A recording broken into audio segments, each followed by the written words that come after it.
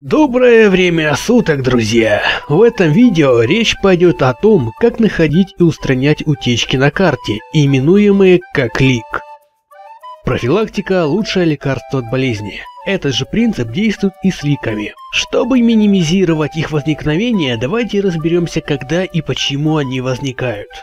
Первое. Часто это может происходить, когда карта не герметична, то есть имеет щели в никуда. В лучшем случае это очень ударит по оптимизации и вызовет разного рода баги. Если это тестовая версия карты, просто создайте огромную коробку, покрытую материалом Skybox и примените к ней операцию Make Hollow, чтобы создать полости внутри куба. Ну и внутри этого куба размещайте свои уровни. Либо используйте функцию Cordon State, которая автоматически создаст небо за указанным периметром. И пожалуйста, никогда не размещайте Entity за пределами карты, это тоже не последний фактор возникновения утечек. Второе. Аэропорталы и хинты. Если они не соприкасаются со стенами карты, а вы скорее всего получите лик, будьте внимательны. Третье. Очень частая ошибка начинающих мапперов. Это превращать браши под ногами в детейл или дисплейсмент, под которым ничего нет. Как следствие, мы видим в лучшем случае подобное. Если под вашими ногами дисплейсмент, то под ним должен быть обычный браш, покрытый нодра или скайбокс текстурой. Четвертое. Хелперы или гизма. Данная якорная точка может выходить за пределы своей entity или карты вообще, вследствие чего может возникать утечка.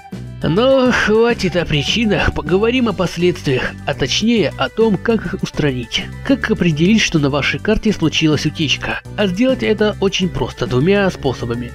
Первый – это посмотреть лог компиляции. Чтобы не тратить свое время, советую использовать онлайн-сервисы или программу View Log Tool, в которой все ошибки будут отображены желтым и красным цветами. Второй способ поиска таков.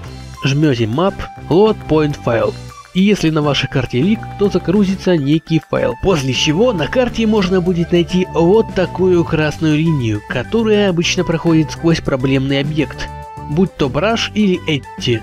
Удаление таковых чаще всего исправляет утечку. Но все же способ с логом надежней, тем более там всегда указан номер браша или координаты.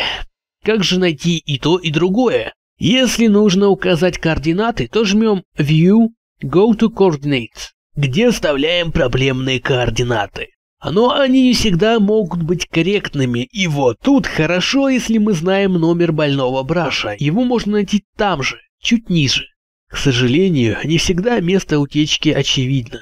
Иногда она может указывать не на сам объект утечки, а на ближайшую entity к нему. Как, например, в случае с дисплейсментом, где лог ругается на entity игрока, а не на рельеф, так что ушки на макушке, глазки на затылке. На этом пока что все.